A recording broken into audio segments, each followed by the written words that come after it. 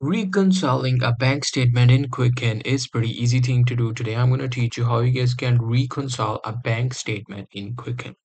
Well, the process is pretty simple. In order to do that, you just need to follow these instructions. First things first, open the account you want to reconcile and then go to tools. In the tools, you'll be able to see an option for reconcile an account. Just click on that. Now in the reconcile online account window, select online balance. Now after selecting online balance, just click OK. And there you go. This is how you'll be able to see all of your reconciled document. So that's pretty much it. That's how I'll be able to do it. Hope you guys find this video helpful.